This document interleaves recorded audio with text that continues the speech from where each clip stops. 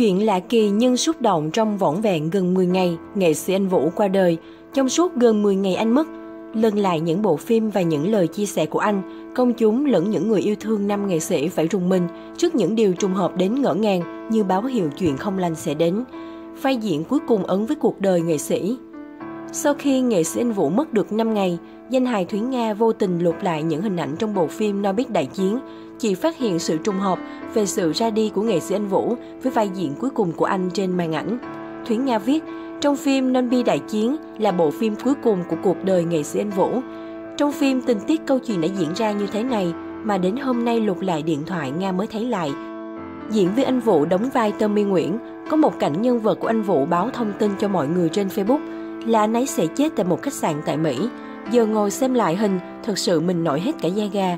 Những tình tiết nhân vật của anh đóng phải chăng như một điềm báo trước, cũng là lời chào tạm biệt mọi người. Xin cầu nguyện cho anh mau về đất mẹ và mong cho linh hồn anh mau chóng được siêu thoát. Thật khó tưởng tượng nổi có sự trùng hợp đáng ngạc nhiên đến như vậy giữa phim và đời. Cuộc đời người nghệ sĩ gắn với sân khấu và nghệ thuật. Vì lẽ đó, chính nó cũng dự cảm cho nhiều số phận không may. Đời là phim, phim từ đời mà ra. Bạn bè liên tục mơ thấy cố nghệ sĩ anh Vũ. Suốt hai ngày đầu, nghệ sĩ anh Vũ mới mất. Những bạn bè thân thiết của anh liên tục có những giấc mơ lạ kỳ. Nghệ sĩ nhân dân Hồng Vân đã chia sẻ đoạn tâm sự ngắn nói về giấc mộng gặp được anh Vũ khiến chị giật mình. Trong mơ, nghệ sĩ anh Vũ diện bộ trang phục đồ sọc, có chất tim tím và đứng nhìn chị với vẻ mặt giận hờn. Tâm sự chuyện đêm qua, lúc 11 giờ tối sau khi từ sân khấu trở về, Vân mệt mỏi và ngủ thiếp đi lúc nào không biết. Trong giấc ngủ mệt, Vân thấy em về, mặc chiếc áo sơ mi của ánh tím caro, em đứng đó nhìn chị ngủ mệt, với vẻ mặt hơi hờn giận. Giật mình thấy em, chị mừng rỡ hét lên, trời ơi Vũ Hạ sao đứng đó không đánh thức tôi. Em vẫn nhìn và chẳng trả lời, bỗng cổ họng chị khô khóc vì chị nhận thức được phụ của chị đã không còn nữa. Giật mình thức dậy nhìn đồng hồ trên điện thoại là 1 giờ 30 và trên inbox có hàng loạt tin nhắn của Hoài Tâm Việt Hương, Ly Ông về việc hoàn thành nốt thủ tục giấy tờ Việt Nam cho em. Chị và mọi người đã bàn bạc tới 3 giờ sáng đó Vũ. Chả tin là em đã mất đâu và chắc em cũng chưa biết là mình mất, nên giấc mơ hôm qua chị hiểu là em muốn hai điều. Phải cho em về nhà thật nhanh. Em thích cái áo mà em cho chị thấy, phải không Vũ? Tấm hình trong clip là Vân tìm bằng được để làm hình thờ, vì đó là cái áo em cho Vân thấy. Vân đã xin ý kiến gia đình và gia đình đã đồng ý lấy hình đó làm hình thờ anh Vũ. Ngay khi vừa tỉnh giấc, nghệ sĩ nhân dân Hồng Vân đã gọi điện cho Ly Ông Vũ, gấp rút làm hình và đặt trước quan tài đúng như di nguyện của nam nghệ sĩ. Cả hai càng bất ngờ hơn khi phát hiện đúng là nghệ sĩ anh Vũ có một bức ảnh rất đẹp và tươi tắn. Được chụp khi diện chiếc áo sơ mi của ánh tím caro như trong giấc mơ, anh nói với nghệ sĩ nhân dân Hồng Vân.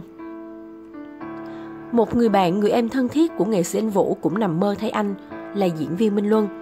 Chẳng hiểu tại sao hôm nay tôi không ngủ được, không hẳn là trái múi giờ đâu, nhưng không biết có phải vì tôi bàng hoàng khi nghe tin dữ về anh Vũ hay không. Thật lòng tôi không nói xạo, tôi cũng không dám đăng tin trên Facebook, chỉ đăng Zalo rồi mọi người kêu tôi đăng chia sẻ. Vì tôi nghĩ sẽ có nhiều người đọc và hiểu sai về tôi, sẽ cho rằng tôi theo dệt thêm mọi chuyện đã rồi. Nhưng thực sự lúc tối 1 tháng 4 nằm ngủ trên máy bay từ Los Angeles về Tabi, tôi đã nghe tiếng anh Vũ gọi từ rất xa và tiến sát lại gần tôi. Anh muốn nói với tôi cái gì đó. Trong ánh mắt như cầu khẩn điều gì đó, muốn nói nhiều thứ nhưng không nói được, miệng cứ lắp bắp rồi khuất xa dần. Với gương mặt đen xàm, ánh mắt trắng xóa, với trồng trắng khác thường và đầu tóc quăng như sợi mì ý, rồi anh biến mất. Khi tỉnh giấc tôi cầm ngay chiếc phone, nhưng rất tiếc trên máy bay không có internet nên đành chịu.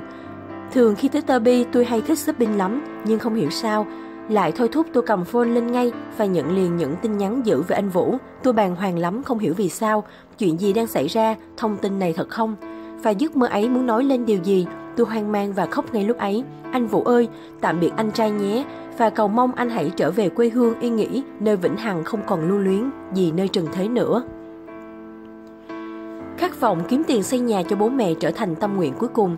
Sau khi nghệ sĩ anh Vũ đã mất, nghệ sĩ nhân dân Hồng Vân đứng ra vận động bạn bè, đồng nghiệp và khán giả chung tay ủng hộ cho gia đình cố nghệ sĩ. Dù đủ số tiền để lo thủ tục đón anh về quê nhà an táng, chỉ vài ngày sau đó, nghệ sĩ nhân dân Hồng Vân đã cùng nghệ sĩ Minh Nhí trao số tiền 668 triệu đồng, tương đương 20.000 đô cho mẹ và em gái của cố nghệ sĩ bạc mệnh. Nghệ sĩ nhân dân Hồng Vân bày tỏ rằng Cô không thể cầm được nước mắt khi nhìn thấy căn nhà đơn sơ của nam diễn viên anh Vũ và tiết lộ tâm nguyện cuối cùng của anh. Má khóc và nói rằng tâm nguyện của nó là phải sửa được căn nhà cho má mát mẻ và bớt hầm hập để ba má sống thọ. Nên xui diện lớn hay nhỏ trong hay ngoài nước, Vũ đều nhận mặc dù sức khỏe không hề tốt.